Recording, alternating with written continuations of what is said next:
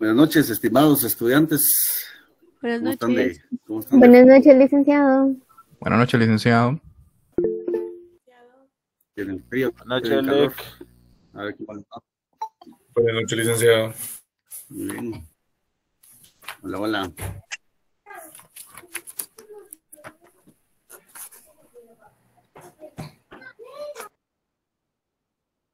Bueno, creo que vamos a iniciar entonces ya nuestro curso el día de hoy. Em, vamos a hablar de los, de los elementos del Estado. El viernes pasado ahí hicimos un ejercicio. Eh, les voy a pasar unas, eh, un texto para que vayan profundizando eh, lo que vimos el, bueno, lo que ustedes presentaron el viernes pasado, ¿no? Entonces, si me permiten, vamos a, a poner la presentación del día de hoy. Vamos a ver.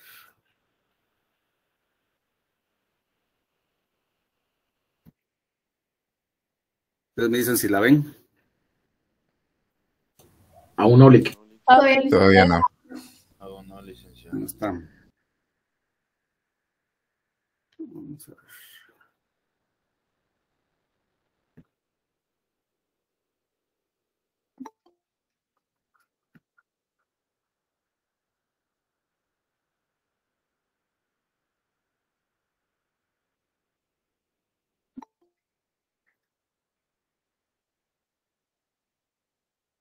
buenas noches. Hola, buenas noches.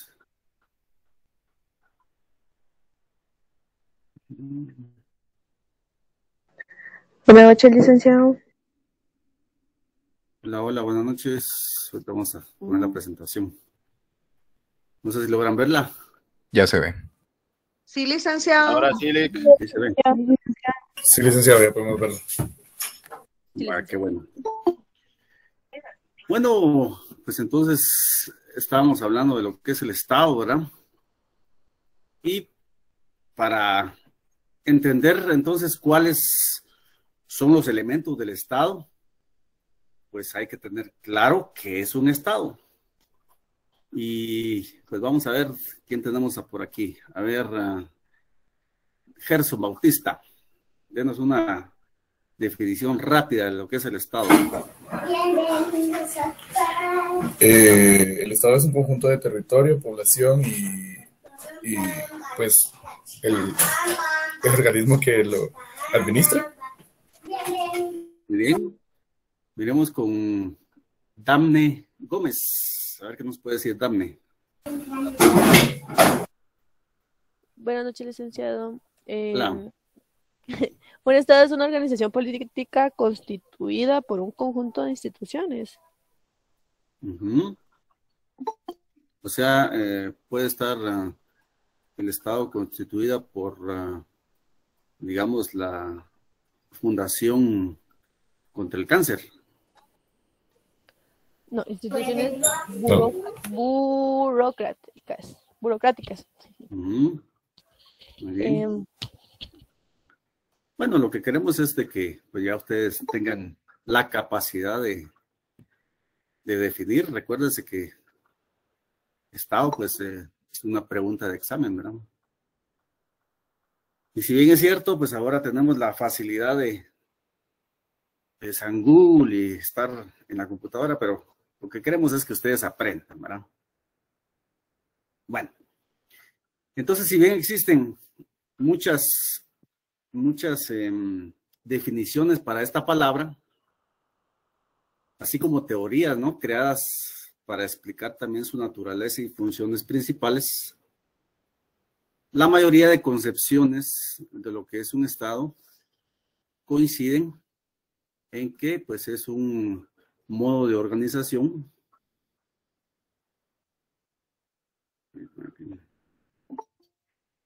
Me están pidiendo ingreso aquí.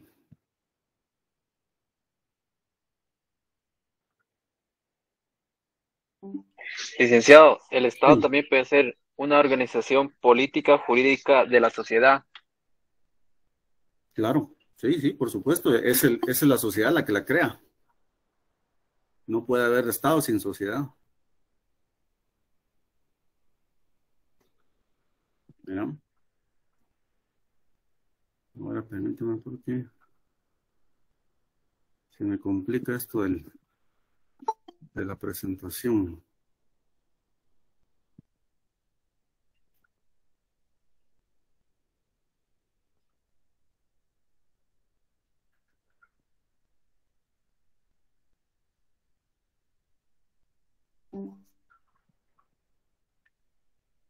Bueno, no sé si ven ustedes la siguiente diapositiva.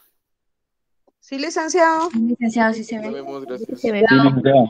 Se ve, licenciado. Gracias. Dice que el Estado es un modo de organización política y social, pues en la cual un, ah, se crea un sujeto soberano, es decir, un colectivo capaz de tomar decisiones acerca de lo que se hace en un determinado territorio. Y pues como no, también se establecen normas que permiten la división social de- del trabajo. Entonces, esta división social del trabajo, permítanme, me están pidiendo ingreso ahí.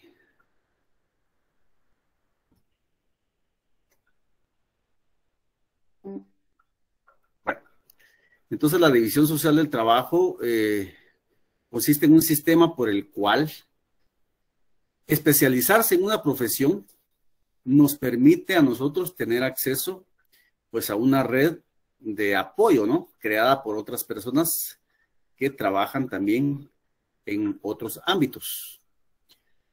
De esta manera, entonces el Estado supone la salida definitiva del modo de vida de lo que fueron los cazadores y recolectores en la antigüedad, y en el cual no existen muchos trabajos especializados, y pues el comercio también estaba muy, muy limitado.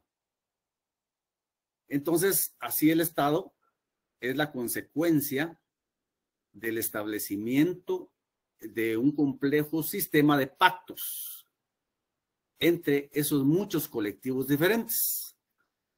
Por ejemplo, los, uh, los recolectores, los cazadores, los, uh, los que se dedicaban a la alfarería, los herreros, etcétera. Entonces se van uniendo y creando el Estado y poniéndose de acuerdo con cuáles van a ser esas reglas, ¿no? Entonces, por eso los, los elementos del Estado son diferentes facetas de este grupo social extendido, capaz de involucrar a miles y miles de individuos, ¿verdad? Algo, algo que no pasa con el otro principal sistema de organización social, que es el núcleo de la sociedad, ¿cuál es? La familia, ¿sí? Entonces, Julio Diena, sí, ven el- el, eh, la diapositiva, ¿verdad? Sí, licenciado. Sí, licenciado.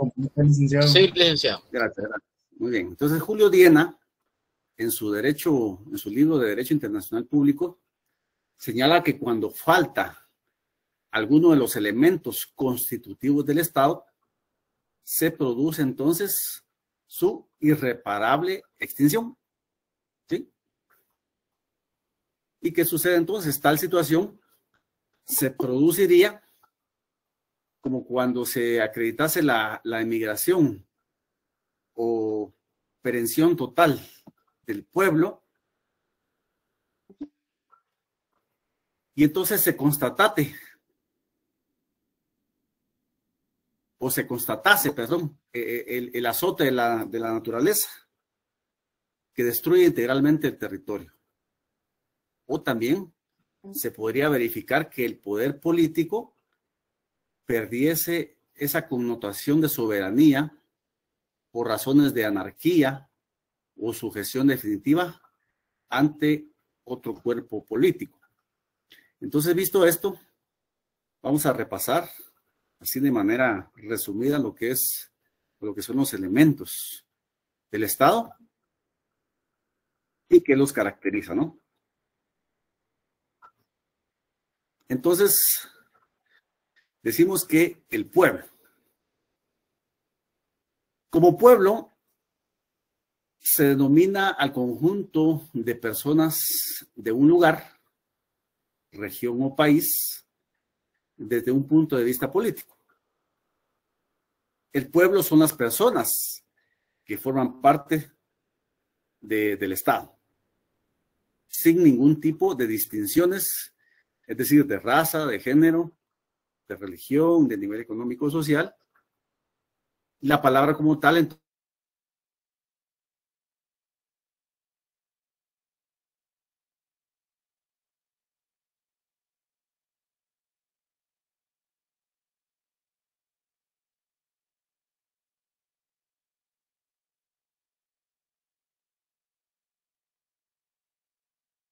de los tibetanos también en relación con el Estado chino.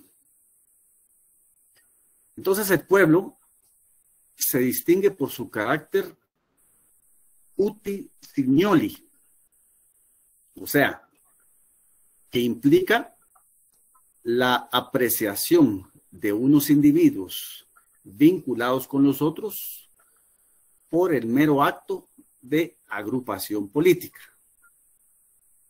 Pueden ellos ser miembros de, una, de un clan, que ese clan abarque muchos estados. Así como ven ustedes en la imagen de Turquía, que los, el pueblo kurdo abarca Turquía, abarca Irak y abarca parte de Irán. O bien dentro de un estado, ¿sí? Que son los, los tibetanos dentro del estado chino, ¿no? ¿Vamos bien? Sí, licenciado. Sí, licenciado. Excelente. Entonces, es usual, es muy, muy usual que se confunda las nociones de pueblo y población. Las mismas que difieren sustantivamente. La expresión pueblo denota un concepto eminentemente político, donde aparece una relación jurídico-política entre un grupo humano y el Estado. ¿Sí? Por eso ven ustedes la imagen acá, en donde hay una manifestación que se expresa como pueblo. Pueden haber distintas organizaciones que conforman el pueblo o el pueblo, la gente que conforma la población, pues reunida, ¿no? Así entonces se manifiesta una unidad cuya conducta constituye el orden jurídico estatal. En cambio, la expresión población denota un concepto étnico-demográfico. ¿sí? Designa una agregación ya mecánica ¿no? de, de personas carente de significado y consistencia política. Tenemos, por ejemplo, ahí en la imagen a la población de origen o de ascendencia maya. ¿sí? Tenemos también la población xinca, la población garífuna, entonces, la, noción de pueblo comprende cuatro condiciones eh, relacionadas o concatenadas, siendo estas, número uno, el vínculo personal, el vínculo principal, el vínculo permanente y el vínculo de correspondencia social. Estamos hablando de pueblo, ¿verdad? Entonces, al respecto... Licenciado, disculpe, ¿cuál es la primera? Eh, el que estamos viendo en pantalla, el vínculo personal. Gracias. Entonces vamos a hablar del vínculo personal en cuanto al pueblo, ¿no? Esta, esta condición. El enlace de una persona con el cuerpo político debe corresponder específica y propiamente a esta en sí misma.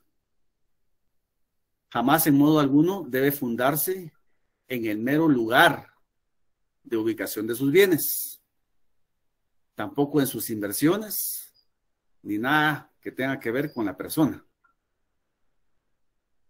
La calificación de este vínculo se refiere única y estrictamente a la persona por sí misma, no a lo que le rodea. En este contexto, una persona entonces puede pertenecer al pueblo de un estado y simultáneamente poseer bienes e invertir sus capitales en otro, en otro país, ¿verdad?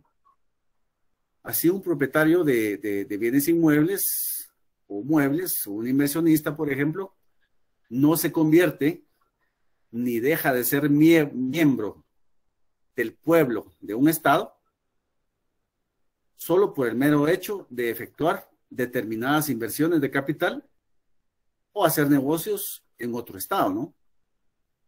Ni tampoco por ejercer actos de uso o disfrute de disposición o reivindicación respecto de un bien que está situado, situado fuera del territorio de la organización política a la cual pertenece. ¿Y qué pasa con la otra condición? Con el vínculo principal. Este es el enlace personal con el cuerpo político y debe caracterizarse por su accionar preferente. ¿sí?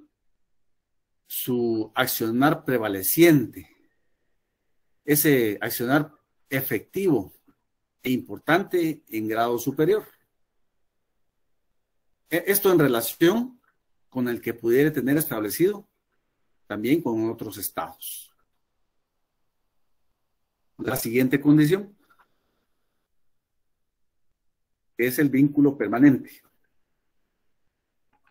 Este, esta condición nos dice que es el enlace personal con el cuerpo político que debe ser, ser estable, debe ser constante, persistente, firme y duradero, ¿no? Entonces, por ende, no puede tratarse de una relación incidental y meramente eventual. Por, tal motivo, entonces tampoco puede considerarse en dicha acepción a aquellos grupos humanos errantes o nómadas. Al respecto, pues podemos citar el caso de la tribu africana de los tauregos, que históricamente se desplazan a lo largo y ancho del desierto del Sahara. Eh, pues el desierto del Sahara abarca todo lo que es Marruecos, Mauritania, Egipto y Sudán. La otra condición, que es el vínculo de correspondencia social. El enlace personal con el cuerpo político implica una recíproca interacción con los demás integrantes del pueblo de un Estado. Ahora bien, la calidad de miembro del pueblo de un Estado, pues no implica necesariamente el ejercicio de los denominados derechos políticos.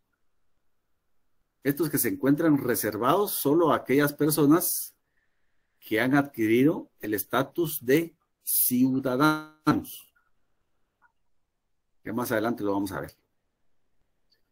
Entonces, dicha calidad meramente hace constar la existencia de un vínculo con el cuerpo estatal ya de naturaleza político-jurídica. Los alcances quedan también a merced del criterio de discrecionalidad estatal. Por otro lado, eh, cabe advertir que el poder estatal no solo es aplicable a aquellas personas que forman parte de su pueblo, sino que se extiende al caso de los turistas también o transeúntes, en tanto permanezcan dentro del territorio del Estado. Entonces acá tenemos las cuatro condiciones de eh, lo que es la población. Entonces, desde nuestra perspectiva, pueblo, nación y patria expresan conceptos distintos y claramente inconfundibles. La expresión pueblo tiene una connotación político-jurídica. En tanto, que la expresión nación tiene, además de lo que dice, se dice el pueblo, un sustento histórico-social. El pueblo implica una multitud,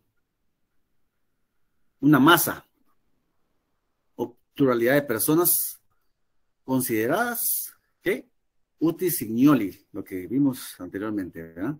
Es decir, se configura por la mera agregación de unos individuos con otros.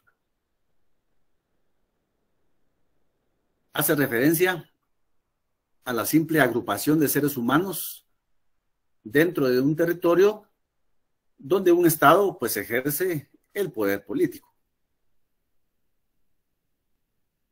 La noción, la noción de pueblo carece de condiciones sociológicas, carece también de mm, consideraciones culturales e históricas. Este pueblo se remonta, la, noción, ¿verdad? El concepto de pueblo se remonta a la unidad social por imperio de la ley. Entonces, tal integración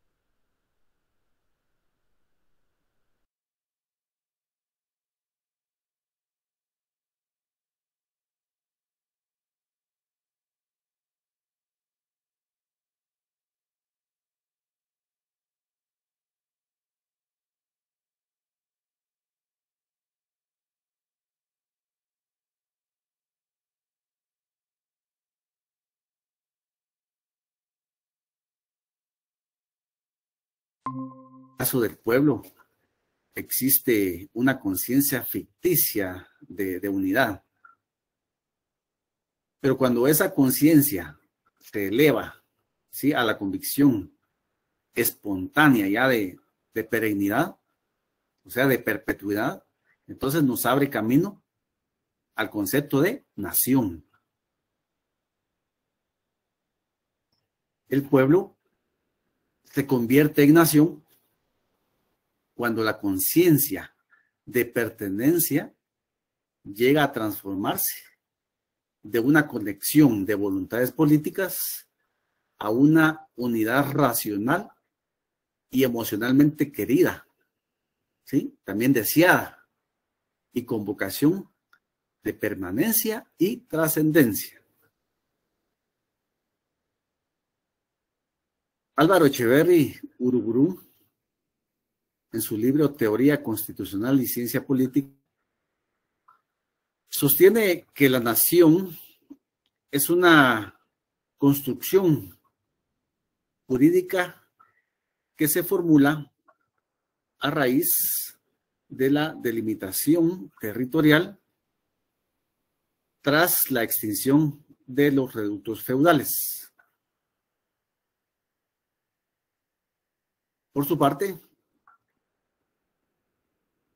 Fernando Silva Santisteban, en su libro Antropología, nos señala que la idea de nación es más bien el sentimiento del nos. Los miembros de una nación sienten que entre ellos existe un nexo de empatía, de comunión efectiva, afectiva, así como el deseo también de compartir una vida en común. Si ustedes se dan cuenta, ya les estoy dando varias definiciones de varios autores de lo que es nación. ¿Qué nos dice Ernest Renan? A finales del siglo XIX, eh, la percibe como aquella gran solidaridad constituida por el sentimiento de los sacrificios realizados en casos necesarios. Eso pone él un pasado, pero por un hecho tangible, ¿sí? El consentimiento, el deseo claramente expresado de continuar la vida en común, siendo la existencia de una nación un plebiscito de todos los días. La existencia del individuo entonces es una afirmación perpetua de vida, nos dice. ¿Por qué? Porque se proyecta como la unidad en la empresa de forjar un estimable destino común. Por su parte, Jorge Sarmiento García, en su libro de Derecho Público, define la nación como aquella suma de individuos dice, o si se quiere, la serie de generaciones sucesivas marcadas por el carácter de lo nacional. No dice mucho, ¿verdad? Más aún advierte que dicha concepción no debe ser percibida como una realidad distinta y superior a sus miembros. Debe recordarse, tal vez como una experiencia amarga de la historia, que tras la consagración de una realidad distinta y superior se cobijó el totalitarismo nacionalista, conforme al cual la nación necesita del Estado para alcanzar su plenitud, observándose a esta como el principio y el fin al que todos los individuos deben someterse. ¿Y por qué les menciono esto? Porque nos decía Benito Mussolini, citado ahí por Dennis Mack. Benito Mussolini y yo voy a plantear lo siguiente. Decía él, el Estado es la encarnación de la nación. Las instituciones políticas son eficaces en cuanto a los valores nacionales encuentran en ellos expresión y protección. La nación no es meramente la suma de los individuos vivientes y menos aún el instrumento de los partidos políticos para la obtención de sus propios fines, sino que es un organismo que comprende las generaciones ante las cuales los individuos son solo elementos transitorios es la síntesis, decía, suprema de todos los valores espirituales y materiales de la razón. Vean qué profundo lo que dice Mussolini. Ahora bien, tal como esgrime Henry Pratt, también en su libro o en su diccionario de sociología, que dice que puede existir una nación sin autonomía política. Sí, tal es el caso de Israel, hasta 1900, hasta antes de 1948, así como un Estado sin armonía entre las naciones adscritas, ¿sí? A ellas. Entonces recordamos nosotros a los tamires del norte, con relación a Tailandia hasta el 2002. Los tamires estamos hablando que es una población, ¿verdad? No es el pueblo, es la población. Entonces, por ende, es dable aceptar la tesis que un cuerpo político puede albergar a varias naciones, ¿sí? Como Suiza y Bélgica, o que una nación pueda encontrarse dividida en dos o más unidades políticas. Es el caso de Canadá, Estados Unidos, China y Corea también. Entonces, en lo relativo a la noción de patria, ¿se recuerdan ustedes? Patria, ¿qué más? Población. Bueno, vamos con la patria. Es oportuno consignar que ella contiene connotaciones ya cívico-sociológicas. Implica una suerte así como de amor al suelo en donde uno ha nacido, sí, y a sus tradiciones también. En ese sentido, dicha noción no se agota en el sentimiento de afecto al lugar que nos cobija sino que trasciende hacia los hombres que la nutrieron con su ejemplo y conducta. Surge como consecuencia de las experiencias de los años formativos de la niñez y la juventud y sobre todo la adhesión elemental al suelo y al medio inmediato. La patria entonces se traduce en el culto a los mártires y héroes defensores del suelo,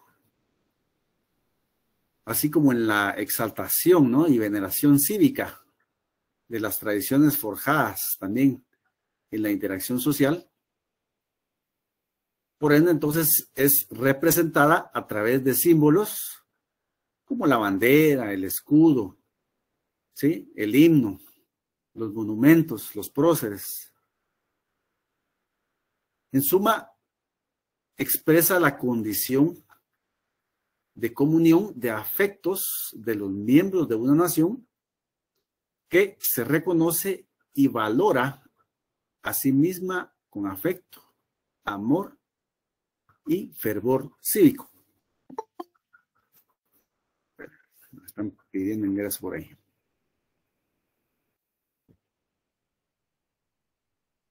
Muy bien. Entonces, vamos a, ver que entonces qué nos dice el pueblo y el principio de libre determinación. Estamos con un elemento, ¿verdad? Del, del Estado, que es el pueblo. Al término de la, de la Primera Guerra Mundial, entre 1914 y 1918, la nacionalidad se convirtió en una poderosa idea de fuerza en el ámbito político europeo. Máxime cuando se consumó la unificación de Italia y Alemania. En ese contexto, el presidente norteamericano Woodrow Wilson formuló el concepto de autodeterminación, que en la práctica concretaba la vigencia del principio de las nacionalidades. Entonces, al momento de discutirse la redacción de la Carta de las Naciones Unidas, por allá por San Francisco en 1945,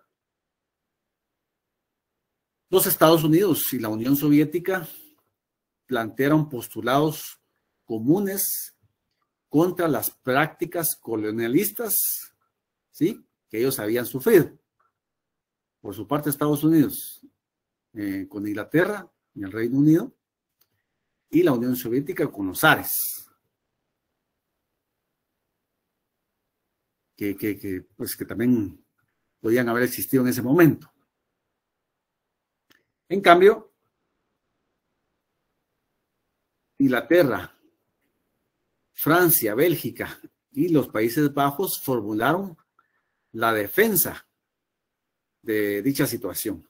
¿Sí? Entonces, ¿qué dijo la, la Organización de las Naciones Unidas? Promovió una solución transnacional que consistió en que los territorios coloniales de los países vencedores de la Segunda Guerra Mundial, denominados no autónomos, continuarían regidas por sus respectivas metrópolis. En virtud de los títulos jurídicos preexistentes derivados del derecho internacional público. ¿Sí? En cambio, los territorios sometidos a la potestad de la propia, de la propia ONU, denominados como de territorios de administración fiduciaria, en virtud de haber sido retirados del dominio de los países perdedores de la Segunda Guerra Mundial o haber sido puestos voluntariamente bajo dicha condición, también por sus antecesores, como estados de administración, entonces quedarían sujetos a los acuerdos internacionales. Debemos eh, mencionar que en la Carta de las Naciones Unidas, en su artículo 1.2, se establece como propósito de dicho ente, es decir, de la, de la ONU, el fomentar entre las naciones relaciones de amistad basadas en el respeto al principio de igualdad de derechos y al de libre determinación de los pueblos. Posteriormente, el 14 de diciembre de 1960,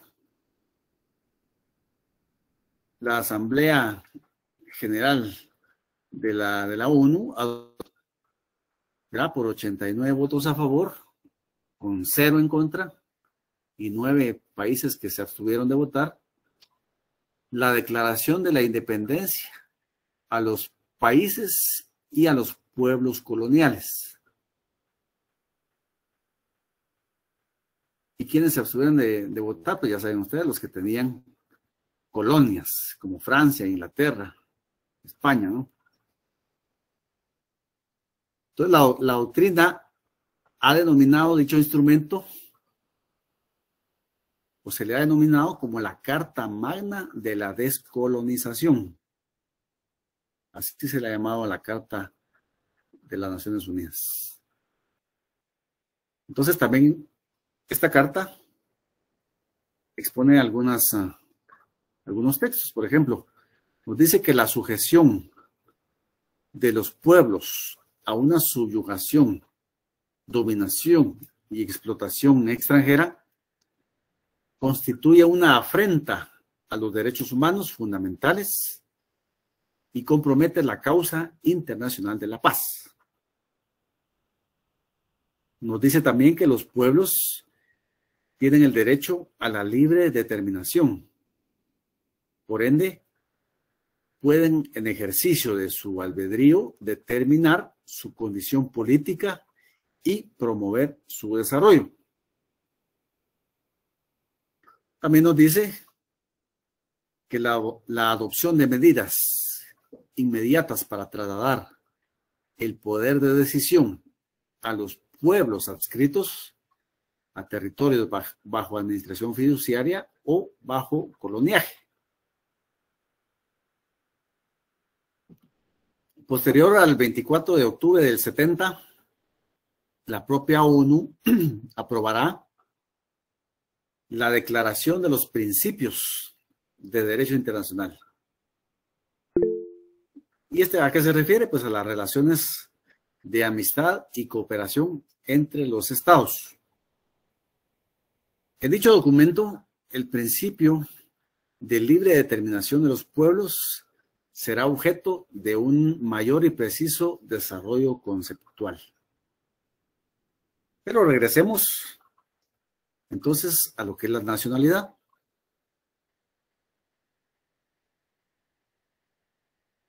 Se encuentra comprobado históricamente que desde los primeros estadios de la coexistencia social, el hombre sintió la necesidad de fortalecer su vínculo con la tierra que le viera nacer. Pero el origen de esta necesidad también tuvo un marcado acento religioso. Así entonces, cuando las familias, las comunidades y las tribus concordaron sobre la necesidad de adoptar un culto común, fundaron inmediatamente lo que se llama la urbe para establecer el santuario donde ofrecer el rito religioso ya generalizado. Por eso se señala con acierto que la fundación de la urbe siempre fue un acto religioso. Entonces, al respecto, también podemos advertir que ciudad y urbe no eran expresiones sinónimas en el mundo antiguo. Eran diferentes. La ciudad se manifestaba como el área donde se forjaba la constitución de la asociación religiosa de las familias y de las tribus. ¿Sí? En cambio, la urbe expresaba o se expresaba como el lugar del santuario de esa ciudad. ¿Y cómo lo podemos relacionar ahora en la actualidad? Pues con las iglesias que hay, ¿no?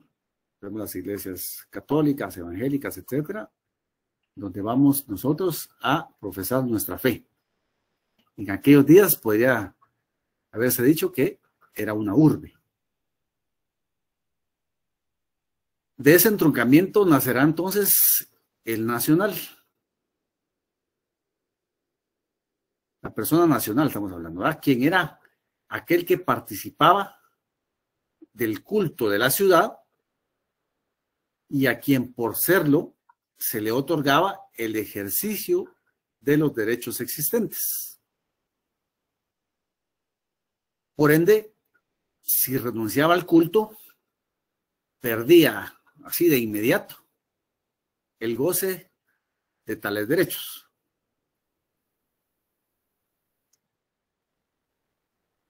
Isabel Kluger, quien es citado por Jorge Huamán Tasco en su libro La Nacionalidad, define al nacional en ese marco histórico como aquel hombre que sigue la religión de la ciudad, que honra a los mismos dioses de la ciudad. En ese sentido, entonces el extranjero se caracterizaba por no tener acceso al culto. Es decir, era aquel que los dioses de la ciudad no protegían. Ya en conceptos estrictamente jurídicos, la nacionalidad nos expresa la calidad o condición de nacional atribuida a una persona en razón de su entroncamiento con la nación jurídicamente organizada a la que pertenece. Pero ya lo vamos a ver más adelante, más, más despacito. Por su parte,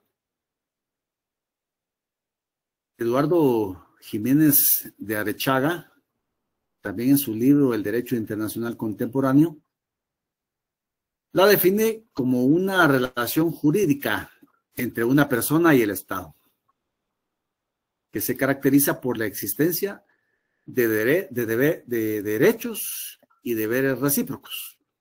¿Sí? Por su parte, Clisbert López Martínez nos dice que se trata de un vínculo entre la persona y la nación jurídicamente organizada, que se llama Estado. Pero la nacionalidad se manifiesta también de doble manera.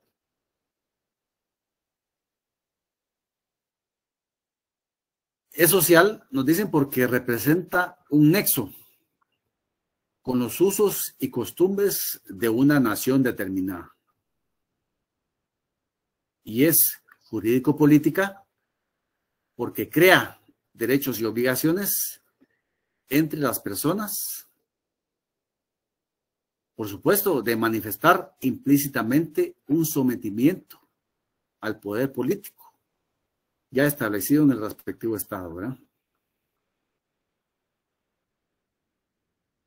¿Cómo van, compañeros? ¿Están durmiendo, no? No, licenciado. Licenciado. Todo bien, todo, bien, licenciado. Todo está claro. Todo bien y gracias. Muy bien. Y vamos a tirar alguna que otra preguntita, estén atentos ahí. Todo bien. Muy bien. Entonces, también, como afirmó la Corte Internacional de Justicia, en el caso Nortenborg, por ahí lo vamos a poner más adelante. En 1955 decía que la nacionalidad se fundamenta en un hecho social de relación,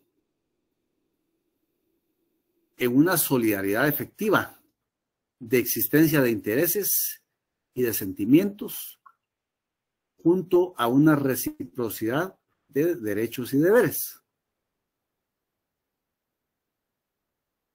Podemos decir entonces que la expresión jurídica del hecho de que el individuo al que le ha sido conferida, ya sea directamente por la ley o por un acto de, una autoridad, está concretamente más estrictamente unido a la población del Estado, ¿sí? Que se lo ha conferido, que a la de cualquier otro Estado. Entonces, recordemos otra vez el caso. Friedrich Noltenburg había nacido en Alemania en 1881 Posteriormente residió en Guatemala desde 1905. Luego, Friedrich viaja al país de Liechtenstein, creo que así se pronuncia, en 1939.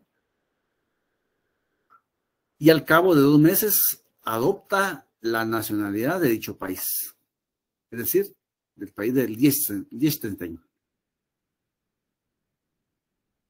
En 1940 regresa a Guatemala. Y recuerden ustedes que ya comienza la guerra, la Segunda Guerra Mundial, y Guatemala se le incautan sus bienes. Habida cuenta, pues, que el referido país había declarado la guerra a Alemania, estamos hablando de Liechtenstein, le había declarado la guerra a Alemania. Y Friedrich es puesto bajo custodia y traslado a los Estados Unidos bajo la condición de enemigo de guerra.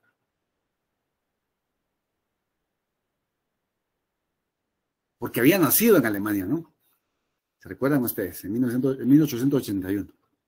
Entonces, ¿qué hace Liechtenstein? Como era ya ciudadano, en 1946, Liechtenstein intenta ofrecerle protección diplomática. Entonces la Corte rechaza la pretensión por la carencia de vínculo efectivo con aquel cuerpo político. ¿Sí? O sea, no hizo nada en Liechtenstein más que tomar su nacionalidad. No tenía inversiones, no vivió nunca, no tenía familia ahí.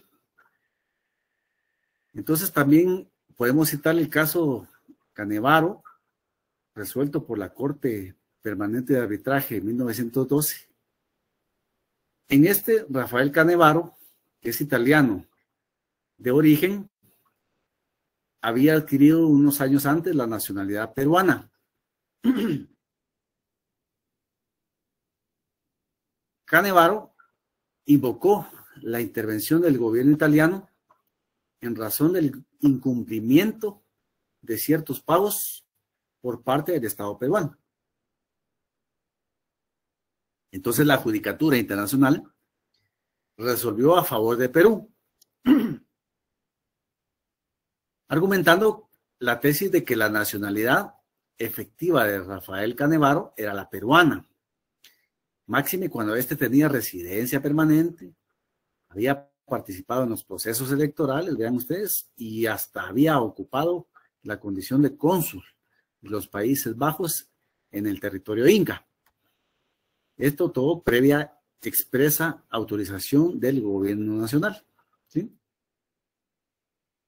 Entonces, ya ven ustedes cómo la evolución del derecho permite señalar que la nacionalidad, entendida como un atributo que se extendía al individuo por gracia del Estado,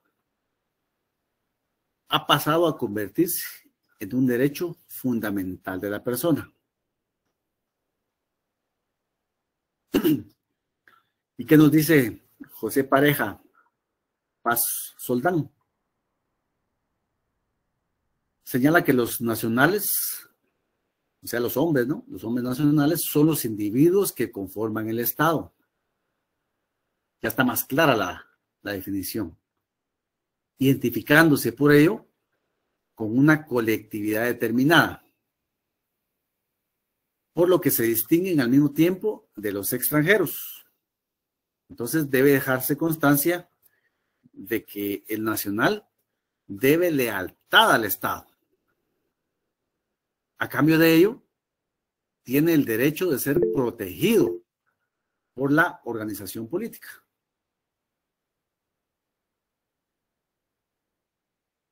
¿Tienen preguntas por ahí? Y eh, lo molesto, me voy a retirar porque me toca examen de recuperación. Bueno, igual, adelante, licenciado, perdón. Sí. Adelante, Leonel. Ah, bueno, muy bien. Lick, buenas noches. Disculpe, yo también me voy a retirar porque también tengo examen. Va, perfecto. Ahí le, mando la, Disculpe, yo también voy a retirar porque tengo examen. La presentación se las envía entonces, no te preocupen. Y de todos modos. Licenciado. Gracias. Sí. Lick, yo sí, yo tengo una, una duda. A ver. Eh, ¿Podía verse de forma filosófica que la nacionalidad, la nacionalidad sería, sería, por ejemplo, como un sentimiento de pertenencia prácticamente? Claro, claro. Porque si hablamos de que eh, lo nacional y la persona, o sea, el Estado y la persona, lo nacional y la persona se podía definir como lo mismo. O sea, es como que si fuera lo mismo, la misma persona, ¿va? Sí, antiguamente así era. ¿Sí? Antiguamente así era. Sí. Okay, gracias. Siempre se relacionaba con lo religioso, se relacionaba con el amor a, al lugar donde viví o donde nací. ¿Sí? Ajá. Pero a, a, también hay otra cuestión, o sea que fíjese que yo encuentro mucha similitud entre la nacionalidad y, por ejemplo, aquí hablábamos eh, hace un rato de, de los elementos, hablábamos del pueblo, la nación y la patria. O sea, la nacionalidad podríamos relacionarlo con la patria, porque también el patriotismo sería, o sea, yo lo interpreto también así, como un sentimiento de pertenencia. Ahora sí, ahora en la actualidad sí. Y el patriotismo ya es, ya es eh, una definición más teórica, ¿sí? Entonces no hay, digamos, legalmente no puedo decir yo soy más patriota o tú eres más patriota, sino simplemente eso ya es una cuestión meramente interna, ¿no? Ajá. Ok, gracias. A la orden. Bueno, continuamos pues. Esperamos que tengan suerte los compañeros ahí que se van a examinar. Entonces decíamos que, eh, bueno, toda persona para establecer el concepto de nacionalidad, la doctrina ha señalado por los cuatro principios que vamos a ver en un ratito. Yo creo que alguien me está pidiendo eso. Bueno. Aníbal, Aníbal quiere platicarnos. Eh, sí, entonces eh, lo que quiero preguntar es, ¿se le da un valor político a algo casi metafísico como el sentimiento de pertenencia?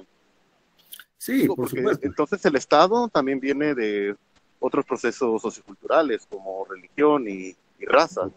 Por eso, exactamente, a eso, buenísimo, buenísimo. Están entendiendo. no, solo necesitaba amarrarlo.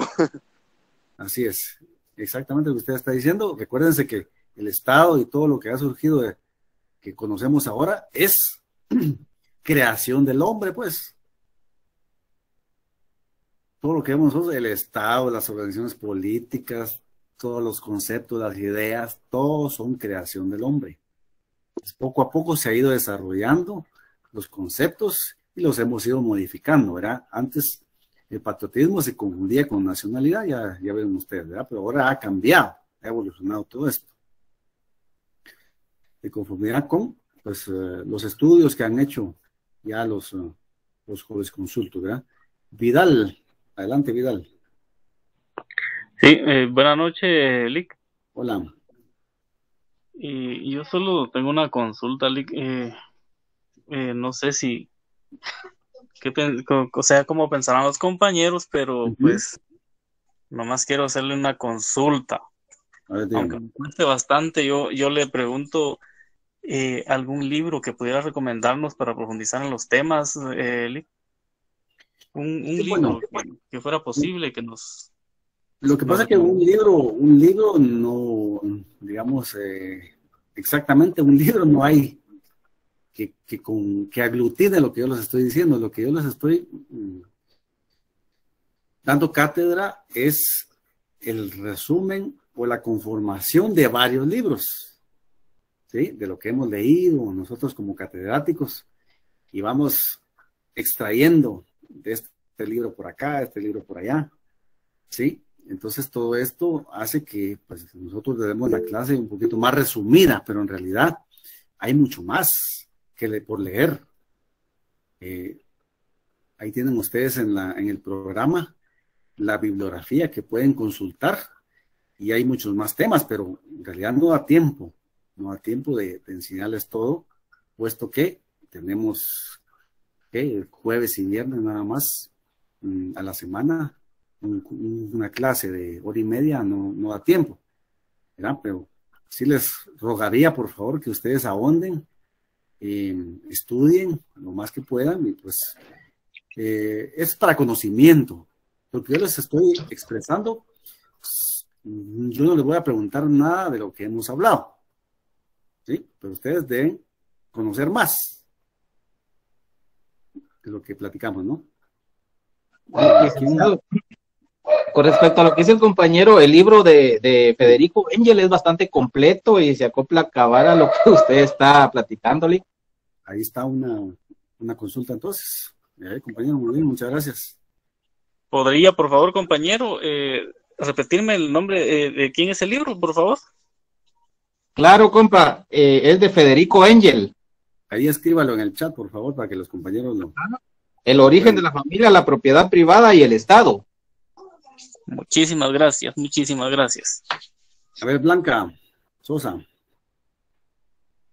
Buenas noches, licenciado. Fíjese que con relación a la consulta que hacía el compañero en, el, en la clase anterior, los temas que desarrollamos en clase, yo estuve buscando y en algunos temas no encuentro información y por supuesto no quise tomar solo lo que dice Wikipedia, ¿verdad? Porque no es una cuestión certera. Entonces, si usted eh, nos va a dar algún material de apoyo de esa clase o eso ya queda cuenta de nosotros. Le trataremos la manera de subir todo lo que yo tenga. Oye, no se preocupe. Gracias. Muy bien. Pues continuamos entonces en la clase. Decíamos que hay cuatro principios, ¿no? primer, primer principio es que toda persona tiene el derecho a una nacionalidad. Con este principio se busca evitar que se produzca la condición de la patria, o sea, el que no tiene nacionalidad. ¿Sí? Carece o ha sido despojado de ella. Es causalmente y constatamos que dicha condición emerge ya sea porque una persona no tiene una nacionalidad de origen o ha perdido la nacionalidad sin posibilidad de adquirir otra por la vía de la naturalización. ¿Sí? Y hay otras formas, por supuesto. El otro principio, el segundo, nos dice que ninguna persona puede ser despojada arbitrariamente de su nacionalidad. Con este principio se busca evitar que por razones espurias, ¿no? Se le prive a una persona de su derecho a la nacionalidad. Siguiente principio.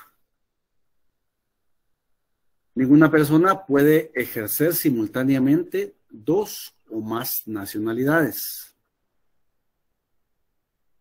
Con este principio se busca evitar que una persona ejerza en un mismo lugar y en un mismo momento de los beneficios y derechos emanados de dos nacionalidades. Hay un caso en, mediados de los 90, eh, de repente por ahí a su papá le pueden preguntar quién era, quién era la cantante Ángela Carrasco. Intentó ingresar a Perú como nacional, sí, del Estado español. Ella, ¿no? La cantante. Y pues intentó inmediatamente conseguir dicho propósito utilizando un pasaporte dominicano. ¿Verdad? Entonces este era el problema que tenía, ¿no? Tenía ella dos, dos uh, nacionalidades, pero solo podía ejercer uno en ese momento en un mismo lugar y en un mismo momento, nos dice este, este principio. El siguiente principio, que es la... ¿Alguien me quiere hablar? ¿No? Muy bien. Sí, Edgar. Sí, licenciado, buenas noches, disculpen la interrupción. Esta, en este principio de nacionalidad, lo que dice usted, que ninguna persona puede ejercer simultáneamente dos o más nacionalidades, dice, ¿verdad? ¿Qué pasaría entonces si hay personas que son eh, nacionalizados estadounidenses y guatemaltecos acá? O sea, ¿no podrían ellos recibir ninguna pensión en Estados Unidos? ¿Podrían ellos recibir pensión en Estados Unidos y pensión acá si trabajaron acá en el Estado? ¿O no podrían? Lo que pasa es que es al momento de ejercer el derecho. ¿Sí? O sea, no puedo yo o sea, si yo tengo una nacionalidad guatemalteca y tengo una nacionalidad estadounidense, si yo voy a, por ejemplo, a México, yo tengo que comparecer con una nacionalidad. Bueno, usted o es guatemalteco o es estadounidense, pero no puedo ejercer los dos derechos. Por eso dice la del principio, en el mismo lugar y en el mismo momento. Pero sí puede tener doble nacionalidad. Ok, gracias. no se puede invocar los derechos de los dos países al mismo tiempo. ¿Verdad? Ojalá que le haya, hayamos sí, comprendí muy bien, licenciado. Gracias, mi amor. Perfecto. Entonces, el otro principio que nos dice es que toda persona tiene derecho a cambiar de nacionalidad. Y pues con este principio se reconoce el derecho a la libertad del sujeto así como la verificación del fundamento básico de la nacionalidad, la que descansa en la aspiración de querer compartir un destino y una vida en común con una determinada nación. Así como señala Tula Sánchez Domínguez, que dice que la regulación jurídica internacional sobre la nacionalidad otorga un apreciable y decisivo nivel de autonomía y discrecionalidad a cada Estado. ¿Esto para qué? Pues para que a través de su derecho interno establezca la relación jurídica. Esto en detalle de todos los aspectos relacionados con la nacionalidad que otorga. Ya que tal autonomía tiene su fundamento en el respeto al ejercicio del derecho de imperium, de imperium de la ley y soberanía que tiene todo Estado sobre sus nacionales. Eso es lo que dice Tula Sánchez. Pero también cabe consignar pues que los antecedentes propiamente dichos del concepto de nacional son aquellos que nacen conjuntamente con el Estado. Pues, en la antigüedad no se tenía una noción cabal y exacta de la idea de Estado, y por eso es que se suscitaba el mismo fenómeno en torno a la nacionalidad, que pues, ya mencionamos, ya platicábamos, ¿verdad? En todo caso, la legislación del antiguo derecho romano distinguía la natio como grupo sociológico definitivamente constituido y el populus como aquella mera agrupación de seres humanos unificados por el derecho. Entonces, en ese contexto, vean ustedes, digamos natio y populus, que se deriva de nación y de pueblo, ¿sí? Los romanos regulaban su conducta mediante el jus civile, o sea, el derecho civil. Mientras que los extranjeros se seguían al jus gentium, o sea, el derecho de gentes. Eso lo van a ver ustedes en derecho civil, ya cuando, no sé si ya lo, están recibiendo. Los romanos se adscribían al denominado Ius Sanguini, que más adelante también lo vamos a ver. Entonces, decía el Sanguini, el derecho de la sangre, que el hijo de justas nupcias seguía la nacionalidad del padre. Decía también que el hijo nacido fuera de justas nupcias se ascribía a la nacionalidad de la madre. Y por último, el hijo de padre extranjero y madre romana quedaba sujeto a una serie de variaciones legales a lo largo del tiempo. Entonces, en razón del nacimiento, en razón del nacimiento, oiga, ciudadano, decían los romanos, era aquel concebido por padres romanos unidos en justas nupcias. Fuera de esa unión, o sea, de ambos padres romanos, únicamente se podía acreditar por rescate dicha condición. ¿Sí? Si, si los padres, digamos, lo mandaban a, traer, pues, no sé cómo explicarles, pero decir, al Estado, mire, yo tengo un hijo fuera de justas nupcias, entonces yo quiero que sea nacional romano. Entonces los modos de adquisición de la nacionalidad, en lo que se refiere a los tipos o modos de adquirir la nacionalidad, la doctrina reconoce como tales al modo originario y al modo derivado. Y esto pues también tiene unos subsistemas, ¿no? Que más adelante los vamos a ver, pero ¿qué nos dice el modo originario? Con dicha adquisición de la nacionalidad, se, sustenta en el nacimiento de una persona. Entonces, este modo admite tres posturas jurídicas. El sistema Ius Sanguini, el sistema Ius Soli y el sistema dual. ¿Qué nos dice el sistema de Ius Sanguini? Este sistema radica en la aplicación del derecho de sangre, que consiste en otorgar al infante la nacionalidad que tienen los padres en el momento que se produce su nacimiento. Este sistema fue eh, auspiciado con el auge de la Roma antigua, ¿no? La afiliación entonces determina la vinculación con un Estado. ¿Ya saben qué es filiación, no? No lo han visto todavía. Sí, ya vimos la afiliación. A ver. Dígame la definición, pues.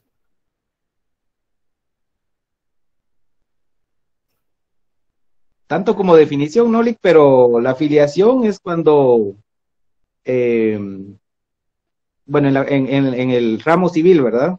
Sí, claro. Cuando, se pide, cuando se pide, por ejemplo, eh, o sea, el reconocimiento de un hijo, ¿verdad? Que, que para adquirir cualquier otro, una herencia, algo así, ¿verdad? Y que no está reconocido, pues, por medio del padre, entonces se pide, cuando el hijo ya es mayor, se puede pedir la filiación para que ya sea reconocido y gozar de los beneficios que dejen los padres. Bueno, eso es, eso es un proceso de filiación.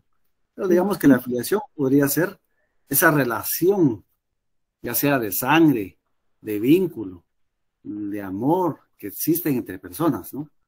podría ser una definición ahí. No existe legalmente una definición de, filiación, pero más o menos por ahí podría, podría ir. Gracias, compañero. Entonces, en este caso, pues es, es irrelevante, ¿no? Para los efectos y adquisición de la nacionalidad. El lugar donde se produjo el nacimiento, ¿sí? O sea, nada tiene que ver dónde nació, sino que sean los dos, padre y madre, tenían que ser romanos. Entonces, este sistema es el de mayor antigüedad y es un rezago ya del derecho personalista de los romanos. Este es aplicado preferentemente por los estados de Europa y Asia también, inspirados en el propósito de conservar el vínculo con aquella parte de su población que reside en el extranjero. También podemos hablar ahora, por ejemplo, de los, de los judíos, ¿no? mandan a llamar a su raza. Pero, ¿qué nos dice el sistema de Usoli? Radica en la aplicación del denominado derecho a la tierra, es lo contrario con el ¿no? Haciendo abstracción de la afiliación. Entonces, este sistema es auspiciado, digámoslo así, por el auge o con el auge del feudalismo y que consiste pues en el otorgamiento de la nacionalidad del Estado en cuyo territorio se produjo el nacimiento del menor. ¿Sí? Y en este caso también resulta irrelevante para la adquisición de la nacionalidad la que tengan los padres en el momento que se produjo el nacimiento.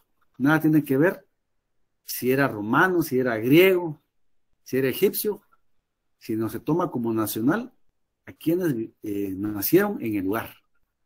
¿Sí? Y tenemos también el sistema dual. Pues como su nombre lo indica, radica en la aplicación simultánea y paralela de los anteriores sistemas dentro de un mismo estado. Pero Dicha aplicación sucede en casos específicamente establecidos y diferenciados también. Este es el sistema que se aplica en nuestro país. Sí, la nacional puede ser adquirida tanto por padres guatemaltecos, ¿sí? Por haber, también por haber nacido acá en Guatemala de padres extranjeros. ¿Verán? Entonces vamos al otro modo de adquirir la nacionalidad, que es el modo derivado. Esta adquisición de la nacionalidad se sustenta en hechos o circunstancias posteriores al nacimiento de una persona. Entonces, con este modo, se admiten dos posturas. La adquisición de la nacionalidad con expresión de voluntad y la adquisición de la nacionalidad sin expresión de voluntad. ¿Y de qué se trata cada una? En esta modalidad, con expresión de voluntad, se produce la manifestación de voluntad de una persona de adquirir una nueva nacionalidad. ¿Y cuál es el caso? Pues de la naturalización, ¿verdad? Un extranjero que se naturaliza guatemalteco. Entonces adquiere la nacionalidad guatemalteca. Y por supuesto que esta requiere también la emisión de un acto estatal de aveniencia, o es decir, de consentimiento admitir a un extranjero como nacional. Esta modalidad plantea un concurso de voluntades, ¿verdad? Sí, entonces debe existir la voluntad de un residente extranjero de convertirse en nacional de otro estado. Y la concesión graciosa de dicho cuerpo político, o sea, del Estado, de acceder a la petición. Esta adquisición de la nacionalidad puede efectuarse por opción o por adopción. La adquisición con expresión de voluntad implica el acceso a la nacionalización, a la nacionalidad, perdón, en razón de haberse acreditado ya la radicación en el territorio de un Estado. O sea, de haberse asentado la persona, su negocio, su familia, etcétera, con el ánimo de permanencia física y realización personal dentro de él. Entonces, su gestación, o sea, su inicio, debe haber una manifestación de voluntad por parte de la persona interesada y se consuma con una expresa decisión estatal de admitirla en su seno. En este caso, pues no existe por sí mismo un derecho a alcanzar necesaria y irremediablemente la nacionalidad por opción o adopción. La adopción es la naturalización, ¿no? Ya que el Estado tiene reservada la prerrogativa de admitir o también no admitir la solicitud del, peticionante. Esto aun cuando se encuentre ya normado pues el proceso de naturalización, también lo puede rechazar. El Estado, entonces, el gobierno emite un acto de libre arbitrio y por eso su determinación de desestimación no requiere ser motivada, como tampoco puede discutirse por la vía judicial. Es decir, la no aceptación de la nacionalidad o de adquirir de adquirir la nacionalidad. Usualmente la naturalización no lleva necesariamente a equiparar esta situación jurídico-política del naturalizado con la del nacional de origen, que es el caso del Estado guatemalteco, en donde existe reserva en favor del último, ¿sí? para acceder a los más importantes cargos públicos, como por ejemplo el presidente de la República, los congresistas, los ministros, todos deben ser guatemaltecos de origen. Entonces la excepción a esta regla puede encontrarse en que todos los centroamericanos serán considerados guatemaltecos de origen o de nacimiento. Y también en los Estados Unidos, eh, eh, por ejemplo, un alemán, en donde un alemán de origen, Henry Kissinger, se convirtió en uno de los más respetados secretarios de Estado del siglo XX, aceptó a un naturalizado a ser o a formar parte de su organización estatal. Pero que nos dice entonces la adquisición de la nacionalidad sin expresión de voluntad. En esta modalidad, una persona adquiere una nueva nacionalidad sin haberse producido ni manifestado él o ella una voluntad en ese específico sentido, ¿no? La nueva nacionalidad la adquiere sin haber existido preexistencia de voluntad de desearla. Dicha nacionalidad surge como simple consecuencia entonces de la realización de un acto diferente que no tiene ninguna relación directa con la nacionalidad como estatus jurídico. Por ejemplo, en el caso de un acto jurídico del matrimonio. ¿Sí? Cualquiera de los dos puede adquirir la nacionalidad del otro cónyuge. Pero hay un problema con la doble nacionalidad.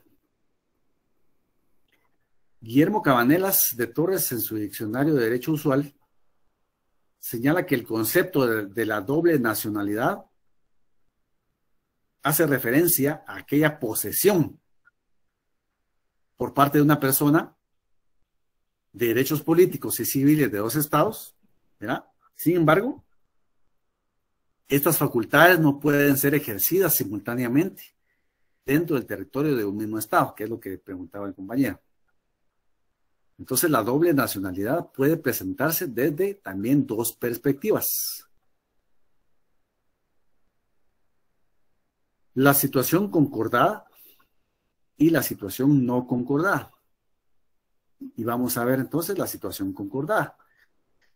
La doble nacionalidad es el producto de la situación en que dos legislaciones estatales están coordinadas entre sí. O sea, los dos países tienen las mismas regulaciones o leyes y consideran simultáneamente a una persona con derecho a la doble nacionalidad. ¿Sí?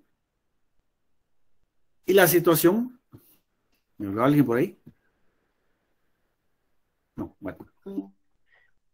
Y la situación no concordada nos dice que la doble nacionalidad es el producto de la situación en que dos legislaciones no tienen esa coordinación legal entre sí. Entonces consideran simultáneamente a una persona, a una misma persona como nacional, pero sus legislaciones son totalmente distintas. ¿Qué nos dice Tula Sánchez Domínguez? plantea siete situaciones concretas en que, no, perdón, seis, son seis, en que se produce la doble nacionalidad. Dice que cuando, como consecuencia de la suscripción de un tratado internacional, se considera una persona como nacional de dos estados. ¿Sí? Es lo que se hizo en el caso del tratado suscrito entre Perú y España en 1959. Fue una situación concordada. Siguiente situación, es cuando un Estado establece la doble nacionalidad en su legislación interna. Pero la aplicación efectiva del derecho a la doble nacionalidad queda supeditada a la posterior existencia del principio de reciprocidad entre los estados involucrados, que es la situación concordada. Entonces, dicha decisión estatal se fundamenta básicamente en razones de índole política, ¿sí? Y en una identificación social, cultural e histórica entre las organizaciones, entre los estados. El ejemplo, tal vez un poquito más claro, es del extranjero que contrae matrimonio con una persona natural de un estado que no es el suyo. En esta hipótesis, el referido acto jurídico debe realizarse en el territorio del estado que otorga la segunda nacionalidad, así como que se registre e inscriba conforme a las exigencias establecidas por la legislación interna de este, ¿no?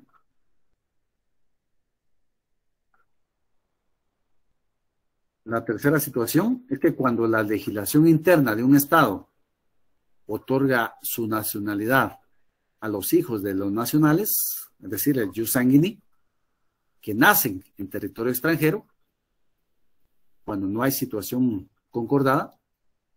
En este caso, la doble nacionalidad puede ser imperativa y automática, cuando no se requiere de expresión de voluntad u opcional, cuando se requiere que la persona cumpla determinados trámites previstos. Entonces, en esta hipótesis, el sujeto tiene la nacionalidad del país en cuyo territorio ha nacido, muy bien, es decir, el jus soli. Pero simultáneamente adquiere o puede adquirir la nacionalidad de sus padres, o sea, jus sanguini. Como podemos ver, entonces no se produce de modo alguno ningún tipo de renuncia de nacionalidad. La siguiente situación es que cuando un Estado, a través de su legislación interna, fija los requisitos que debe cumplir una persona para obtener la naturalización sin exigirle la renuncia previa a su nacionalidad de origen. Es decir, hay una situación no concordada. En esta hipótesis no existe acuerdo entre los estados involucrados para la dispensa de dicha renuncia. Cuando un estado no reconoce, en efecto, eh, digamos, en efecto legal alguno de la renuncia a la nacionalidad presentada por un nacional para optar por otra. En esta hipótesis, la persona obtiene una nueva nacionalidad y solo suspende la de origen, es una situación no concordada. Y pues son los casos de, de Alemania y Uruguay, ¿no? Y el último, la última situación que es cuando un Estado declara como nacionales a personas extranjeras en virtud de los servicios prestados a su favor por ellas. Es una situación con, no concordada. Por ejemplo, cuando presta servicio militar. ¿ya? Entonces, en resumen, las personas que gozan de esta prerrogativa ejercitan los derechos y obligaciones de la nacionalidad del país en donde domicilian y en relación a un tercer país, solo pueden ejercer alternativamente una de ellas. Pero que nos dice la pérdida y renuncia a la nacionalidad. Pues la pérdida implica la privación jurídica de la condición nacional. Es usual que las causales que la generan se encuentren señaladas en una ley especial, por ejemplo, la ley de nacionalidad. Más aún, existen casos como el de la vigente constitución chilena que establece expresamente que dicha pérdida se genera como consecuencia de la adquisición de otra nacionalidad. ¿Por qué? Por la prestación de servicios en guerra exterior a ejércitos enemigos, establece la, la constitución chilena. Entonces, en Guatemala no existe posibilidad alguna de la privación de la nacionalidad. No cabe en modo alguno el despojo de la nacionalidad guatemalteca. La renuncia a la nacionalidad implica el abandono voluntario de la condición nacional por manifestación expresa ante una autoridad estatal competente, a menos que quien vaya a renunciar a la nacionalidad, pues así lo haga, lo haga de forma expresa, ¿no? Entonces, al respecto, debe advertirse a algunos estados que, que, algunos estados no reconocen efecto legal alguno, también dicha decisión, es decir, el de renuncia de la nacionalidad. Pero ¿cómo recuperamos la nacionalidad? Pues alude a la facultad de recobrar la nacionalidad a la cual anteriormente se había renunciado. Esta recuperación se produce cuando el interesado acredita cumplir con los requisitos que la legislación ordinaria de su primigenio Estado dispone para tal efecto. Resulta obvio entonces que dentro de estas exigencias se establezca la previa renuncia a la nacionalidad que se adquirió voluntariamente, es decir, así como voy y vengo, voy y vengo, ¿no? ¿Y qué nos dice José Pareja? ¿Sí? Nos dice que la nacionalidad, la, la nacionalidad es el género y la ciudadanía es la especie. Buenas noches, Lick. Adelante. Disculpe con una pregunta, ¿cuánto tiempo más irá a seguir en su clase que necesito manejar? Por eso la pregunta. Cinco minutos. Bueno, gracias. Entonces, la primera de las citadas es una categoría jurídica que contiene, entre otras, la noción de la segunda.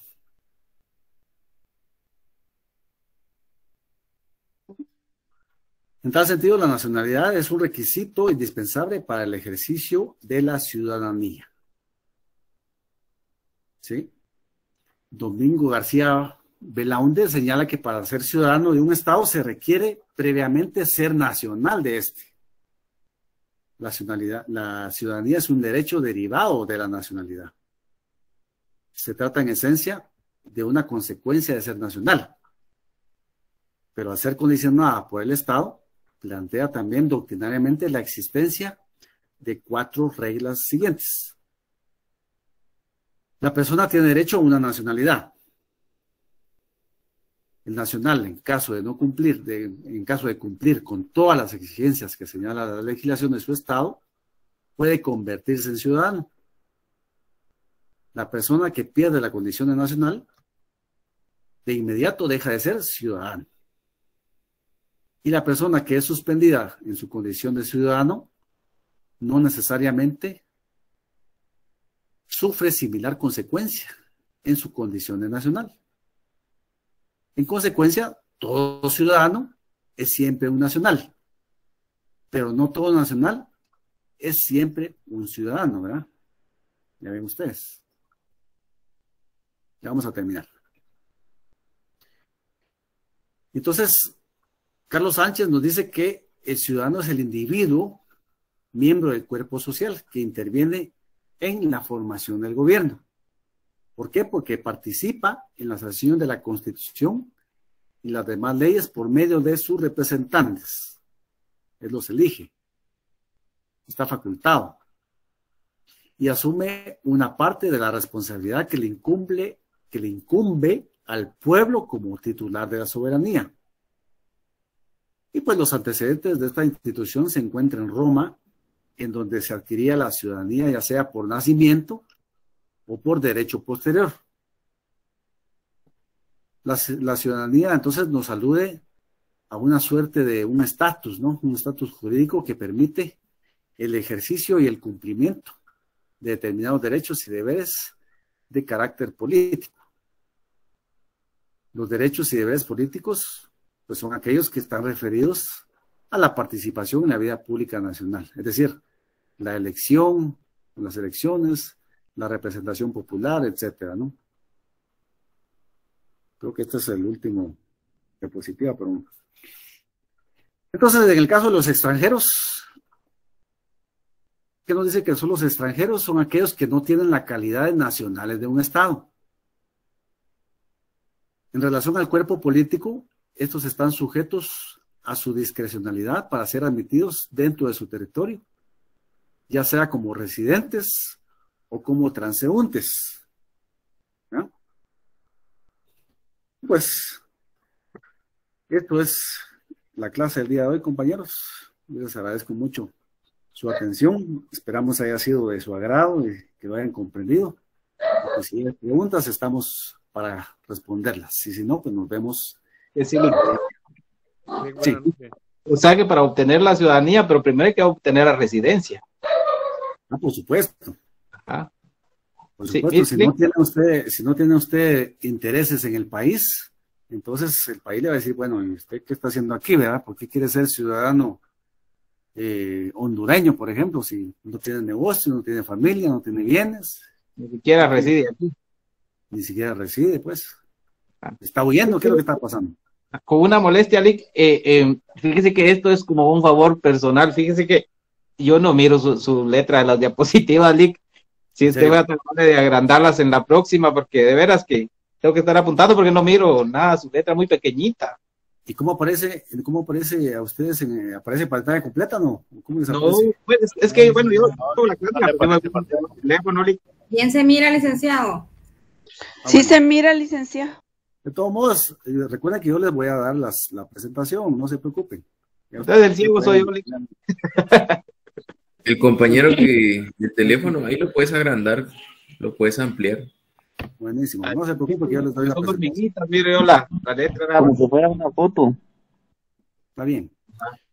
Bueno, entonces, dejámosla ahí. Pues, Licen- Licenciado, solo una consulta. Yo vi el comentario de usted que faltaban cuatro personas que se inscribieran, pero ¿será que usted nos podrá hacer el favor de enviarnos el listado de alumnos para poder verificar qué personas no estaríamos incluidas en el listado? Claro que sí, con mucho gusto se los envío, pues. Gracias, licenciado, muy amable. Buenas noches. Muy bien. Bueno, la pasen bien. Gracias, Alex, se cuidan.